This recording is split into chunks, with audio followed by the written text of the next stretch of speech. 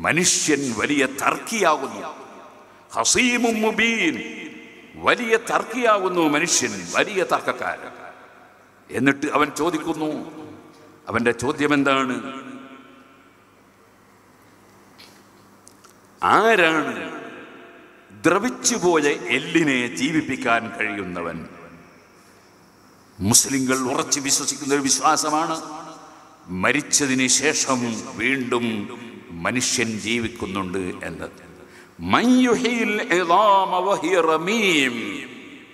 ദ്രവിച്ച ഒരു എല്ലെടുത്ത് കയ്യിൽ പിടിച്ച് അതിങ്ങനെ കൈകൊണ്ട് പിടിച്ച് ഞെക്കി ഞെരുക്കി പൊടി പൊടിയായി വീണു പോകുമ്പോൾ ഒരു താർക്കികനായ മനുഷ്യൻ ചോദിക്കുകയാണ് ആർക്കാണ് ഇതിനെ ജീവിപ്പിക്കാൻ സാധിക്കുക മഞ്ഞുഹയിൽ.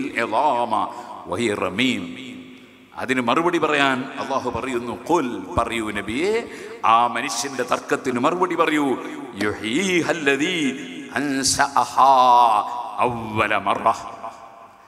അതിനെ ജീവിപ്പിക്കുന്നത് ആരാണെന്നല്ലേ ചോദ്യം? ഈ എല്ലിനെ ഉണ്ടാക്കിയവൻ ആരാണ് ഈ എല്ലിനെ ഉണ്ടാക്കിയവൻ ആരാണ് അതേ ഭർത്താവിന്റെ ശരീരത്തിൽ നിന്ന് ഒരെല്ലിൻ കഷ്ണം ഭാര്യയുടെ വയറ്റിലേക്ക് നീങ്ങിയിരുന്നോ? ഇല്ല. തലയോട്ടി നീങ്ങിയിരുന്നോ? ഇല്ല. അതേപോലെ ഒന്നും നീങ്ങിയിട്ടില്ല. പിന്നെ നഗ്നദൃഷ്ടി കൊണ്ട് കാണാൻ കഴിയാത്ത ഒരിന്ദ്രിയ തുള്ളിയുടെ എത്രയോ ലക്ഷക്കണക്കിന് അംശങ്ങളിൽ നിന്നുള്ള ഒരു ചെറിയ അംശം. ആ ബീജത്തിൽ നിന്ന് മനുഷ്യനെ സൃഷ്ടിച്ച ഒരുവൻ ഉണ്ടല്ലോ. അവൻ തന്നെയാണ് ഇവിടെ ഈ എല്ലും പല്ലും തോലും തലയോട്ടിയും മാംസവും മജ്ജയും എല്ലാം സൃഷ്ടിച്ചവൻ അവൻ തന്നെയാണ് ഈ ദ്രവിച്ചു പോയ എല്ലിനെ പുനർജീവിപ്പിക്കുന്നവൻ എന്ന് പറയൂ നബിയെ. പരിശുദ്ധ ഖുർആാനിന്റെ സ്വഭാവം അങ്ങനെയാണ്. ആശയപരമായി ഉള്ള സംവാദം. അല്ലാതെ ആശയം സ്വീകരിക്കാത്തവരൊക്കെ തലവെട്ടുക. അല്ലെങ്കിൽ അവരോടൊക്കെ യുദ്ധം നടത്തുക. അല്ലെങ്കിൽ അവരെല്ലാം ആക്രമിക്കുക. അവരെല്ലാം വെറുത്ത് മാറ്റി നിർത്തുക. അവരെ ബഹിഷ്കരിക്കുക. അങ്ങനെയല്ല. ആശയപരമായ സംവാദം.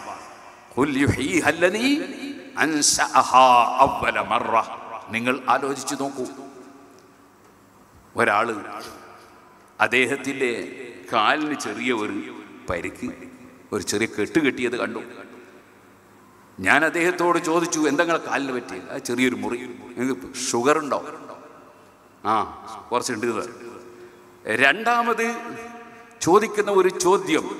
ഇതിന്ന് ഞാൻ ചോദിച്ച ചോദ്യമാണ്. അയാളോട് ഞാൻ ഇത് ചോദിച്ചിട്ടില്ല. ഇനി പറയുന്നത് ചോദിച്ചിട്ടില്ല. കളവ് പറയാൻ പാടില്ലല്ലോ. അതേസമയം രണ്ടാമത് ചോദിക്കുന്ന ഒരു ചോദ്യം. നിങ്ങൾക്ക് ഷുഗർ ഉണ്ടില്ലേ? നിങ്ങളെ ബാപ്പക്ക് ഉണ്ടായിരുന്നോ. ആ ഉണ്ടായിരുന്നു. അപ്പൊ നിങ്ങൾ ആലോചിച്ച് നോക്ക് ഈ ബാപ്പയുടെ ശരീരത്തിൽ നിന്ന് ഇത്രയും ചെറിയൊരു അംശം സുബാനല്ല മാതാവിന്റെ ഗർഭാശയത്തിലേക്ക് നീങ്ങിയപ്പോൾ അതിൽ ബാപ്പയുടെ ഷുഗർ അടക്കം ഉൾപ്പെടുത്തിയിട്ടുണ്ട്. ചില ആളുകൾ അവർ എഴുതുമ്പോൾ കയ്യക്ഷരം നല്ല കയ്യക്ഷരം. ആൾക്കാർ പറഞ്ഞു അവരുടെ ബാപ്പ അങ്ങനെ തന്നെ നല്ല കയ്യക്ഷരായിരുന്നു.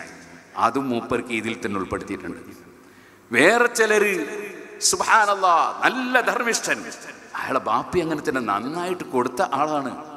എസ് എസ് എഫിന്റെ കുട്ടികൾ അവരുടെ സാഹിത്യോത്സവിന് വേണ്ടി ഒരാളെടുത്ത് പിരിവിന് പോവുകയാണ്. അപ്പൊ കൂടുതലുള്ള ആൾ പറഞ്ഞ് പോകണ്ട പോയിട്ട് ഒരു കാര്യമില്ല എന്താ നിങ്ങൾക്ക് അറിഞ്ഞൂടെ അയാളെ ബാപ്പാനെ അഞ്ച് വയസ്സ് കൊടുക്കലുണ്ടോ? മോനും അങ്ങനെ തന്നെയാണ്. അപ്പൊ എന്താണ് ഈ ബുഹലടക്കം? ഈ ലുബ്ധത അടക്കം ഇതിൽ ഉൾപ്പെടുത്തിയിരിക്കുകയാണ്. ഇനി നിങ്ങൾ ചിന്തിച്ചോളൂ മുഖത്തിന്റെ സാമ്യത. മുഖത്തിന്റെ സാമ്യത ശരീരഘടനയുടെ സാമ്യത. ഒന്നുകിൽ ബാപ്പയോട് അല്ലെ ഉമ്മയോട് അല്ലെ അമ്മാമനോട് അല്ലെങ്കിൽ ബാപ്പന്റെ ജ്യേഷ്ഠനോട് അല്ലെങ്കിൽ ഉപ്പാപ്പയോട്. അങ്ങനെ തുടങ്ങിയിട്ട് എന്തെല്ലാം വിഷയങ്ങളിൽ തുല്യത കാണുന്നു മനുഷ്യർ അതെല്ലാം ഉൾപ്പെടുത്തിയത് ഇത്രയും ചെറിയ ഒരംശത്തിൽ.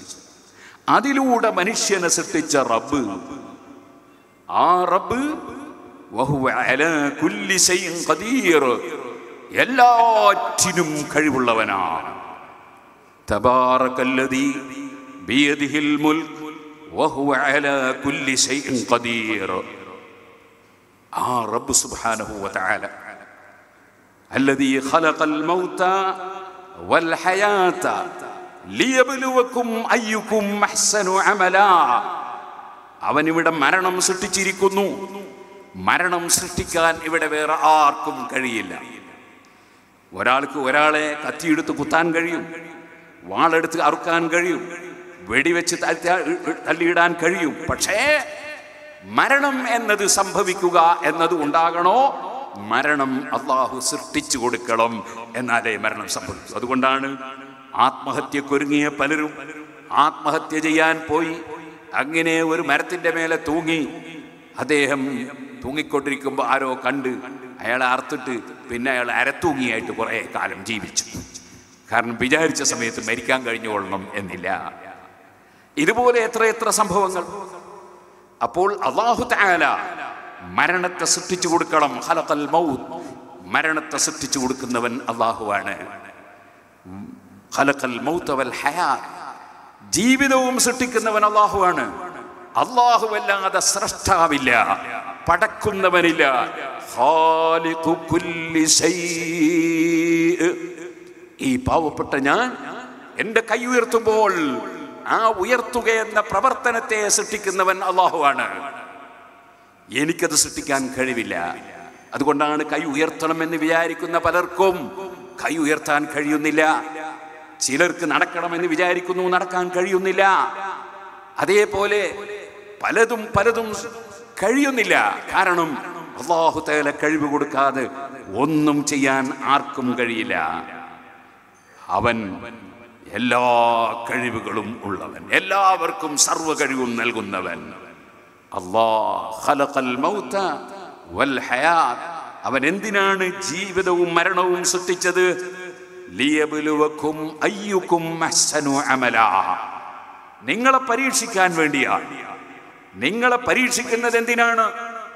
അത് പടച്ചവന് പരീക്ഷിച്ചിട്ട് റിസൾട്ട് അറിയാൻ വേണ്ടി അല്ല. പിന്നെ നിങ്ങൾക്ക് മരണശേഷം രക്ഷ നൽകുമ്പോൾ നിങ്ങൾക്ക് എന്തുകൊണ്ട് രക്ഷ നൽകി? നിങ്ങൾ ആരെങ്കിലും ശിക്ഷിക്കുമ്പോൾ എന്തുകൊണ്ട് ശിക്ഷ നൽകി? എന്നത് ബോധ്യപ്പെടുത്തിയിട്ട് രക്ഷയും ശിക്ഷയും നൽകുക എന്ന ഏറ്റവും വലിയ നീതി കാണിക്കുന്ന അതിലാണ് അള്ളാഹു താല അവന്റെ നീതിയുടെ ഭാഗമാണ്.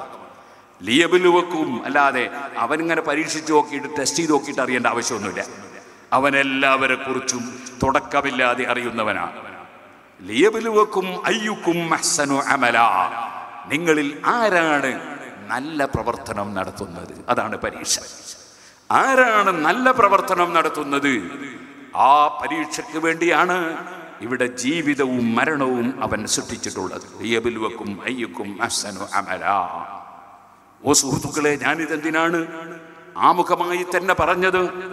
ലോകസട്ടാവായ അള്ളാ ഏറ്റവും വിശാലമായ കാരുണ്യം ചെയ്യുന്ന അള്ളാ അവൻ റഹ്മാൻ ആയ അള്ളാ അവനാണ് എല്ലാ മതക്കാർക്കും എല്ലാ ജീവിത സൗകര്യവും നൽകുന്നവൻ മതമില്ലാത്തവർക്കും ചെയ്യുന്നവൻ യുക്തിവാദിക്കും നിരീശ്വരവാദിക്കും ഭക്ഷണം കൊടുക്കുന്നവൻ വെള്ളം കൊടുക്കുന്നവൻ വായു കൊടുക്കുന്നവൻ അതേ പടച്ചവനെ ചീത്ത പറയുന്നവന് അത് പറയാനുള്ള ശക്തി നാവിന് കൊടുക്കുന്നവനും പടച്ചവൻ തന്നെ. കാരണം ഇവിടെ ശിക്ഷാരക്ഷയുടെ ലോകം അല്ല പരീക്ഷയുടെ ലോകമാണ് അവിടെ അവൻ എന്തും പറയാൻ സാധിച്ചെന്ന് വരും. കഴിവ് അള്ളാഹു കൊടുക്കും. പക്ഷേ അതുകൊണ്ട് അവൻ തെറ്റിദ്ധരിക്കണ്ട. ഞാൻ എന്റെ തോതിവാസം ജീവിച്ച് എനിക്കൊരു പ്രശ്നവുമില്ല എന്ന് തെറ്റിദ്ധരിക്കണ്ട. അതുകൊണ്ടാണ് അടുത്ത വാചകം.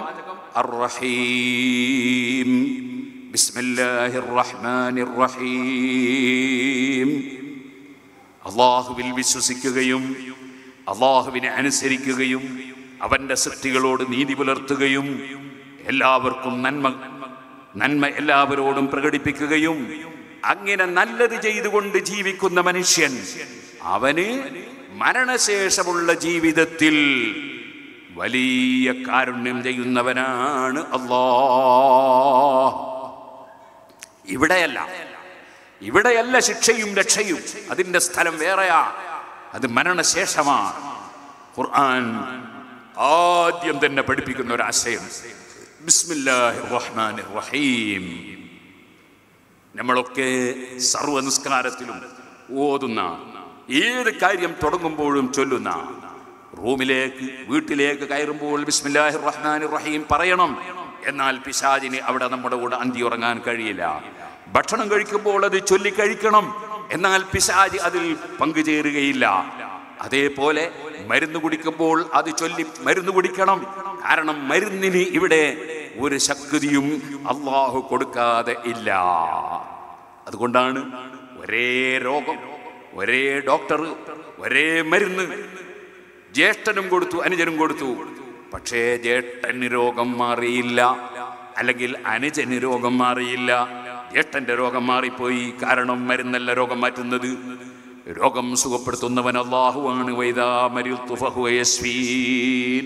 ഇബ്രാഹിം നബി അലൈഹി ഇസ്ലാം പറഞ്ഞില്ലേ രോഗം വന്നാൽ രോഗം സുഖപ്പെടുത്തുന്നു. എന്നെ അള്ളാഹുയാണ് അള്ളാഹുവാണ്.